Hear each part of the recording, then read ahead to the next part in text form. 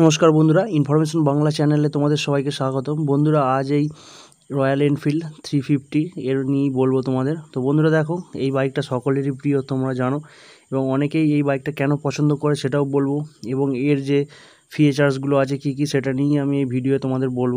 তো বন্ধুরা ভিডিওটা স্কিপ না করে পুরোটা দেখো, তাহলে বুঝতে পারবে এবং তোমাদের ভালো লাগবে, আশা করি। তো বন্ধুরা, দেখো, এটা হলো সেই রয়্যাল এনফিল্ড একটা প্রিয় গাড়ি অনেকেরই থ্রি ফিফটি মানে ক্লাসিক থ্রি ফিফটি মডেলটা রয়্যাল এনফিল্ডের প্রায় নটা মতো মডেল আছে। তোমরা অনেকেই জানো বা চেক করে দেখতে পারো কী কী মডেল আছে।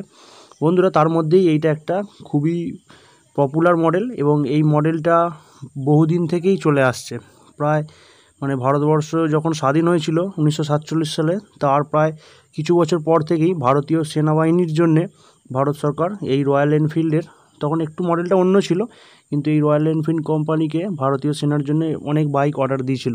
তো সেই থেকেই এটা একটা গৌরবের বাইক এবং ভারত সরকার উনিশশো পঞ্চান্ন সালে গভর্নমেন্টের যে ইন্ডিয়ান আর্মি বা ভারতের সেনাবাহিনীর জন্য এই বাইকটাকে একটা পপুলার বাইক হিসাবে তারা স্বীকৃতি দিয়েছিল এবং সেই থেকেই এই রয়্যাল এনফিল্ড ভারতের বাজারে একটা সুনামের সঙ্গে এতদিন পর্যন্ত চলে আসছে এবং এর আভিজাত্যটাই একটা আলাদা। সর্বদিক থেকেই এটা বাইকটার খুবই ভালো এবং বন্ধুরা, এই বাইকটা সামান্য তেল বেশি খায় হয়তো অন্য বাইকের থেকে, কারণ এর ক্ষমতাও বেশি অন্য বাইকের তুলনায়।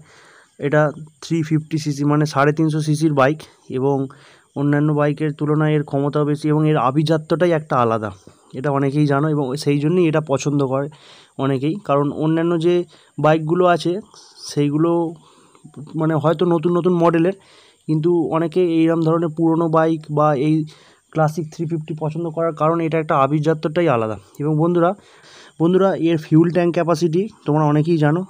এবং যারা জানো না, তাদের জন্য বলে রাখি, তো বন্ধুরা, এর ফিউল ট্যাঙ্ক ক্যাপাসিটি সাড়ে তেরো লিটার মানে তেরো থেকে সাড়ে তেরো লিটার পর্যন্ত এর ফিউল ট্যাঙ্ক ক্যাপাসিটি এবং এর টায়ার সাইজ যে মাপটা হয়, নব্বই বাই নব্বই, উনিশ ইঞ্চির টায়ার সাইজ এবং এর যে ইঞ্জিন অয়েল মানে যখন গাড়িতে ইঞ্জিন অয়েল চেঞ্জ করতে হয়, তখন এটা প্রায় আড়াই লিটার থেকে তিন লিটার পর্যন্ত এর ইঞ্জিন অয়েল লাগে।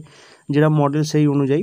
এবং যত দিন যাচ্ছে নতুন নতুন এর আপগ্রেড হচ্ছে, এখন যেমন বিএস সিক্স এবং এতে কিক স্টার্ট এবং সেলফ স্টার্ট কিল সুইচ বিভিন্ন ধরনের সিস্টেমগুলো আছেই, অন্যান্য বাইকের মতো। এবং এই বাইকটার ওয়েট এটাই একটা গুরুত্বপূর্ণ জিনিস। এই বাইকটা প্রায় একশো পঁচানব্বই থেকে সাতানব্বই কেজি পর্যন্ত ওয়েট এবং এখন নিউ বিএস সিক্স ভেরিয়েন্টের যে মডেলগুলো সেগুলোতে প্রায় পঁয়ত্রিশ থেকে চল্লিশ কেএমপিএল পর্যন্ত মাইলেজ দিচ্ছে এবং ভারতের বাজারে এটা এখন দাম পড়ছে এক্স শোরুম প্রাইস দু লাখের মধ্যে এবং অন রোড প্রাইস দু লাখ তিরিশ থেকে দু লাখ চল্লিশের মধ্যে। এটা ভারতের নিউ জেনারেশনের কাছে খুবই পপুলার একটা বাইক বন্ধুরা, এই ভিডিওটা ছাড়াও আমাদের ইনফরমেশন বাংলা চ্যানেলে Honda SP one twenty five BS six bike নিয়ে এবং ই স্কুটি নিয়ে ভিডিও আছে, তোমাদের প্রয়োজন হলে তোমরা চেক করে দেখতে পারো। বন্ধুরা, ভিডিওটা হেল্পফুল হয়ে থাকলে লাইক করে দিও চ্যানেলে নতুন হয়ে থাকলে চ্যানেলটি সাবস্ক্রাইব করে দিও। ধন্যবাদ বন্ধুরা, ভালো থাকবে সবাই।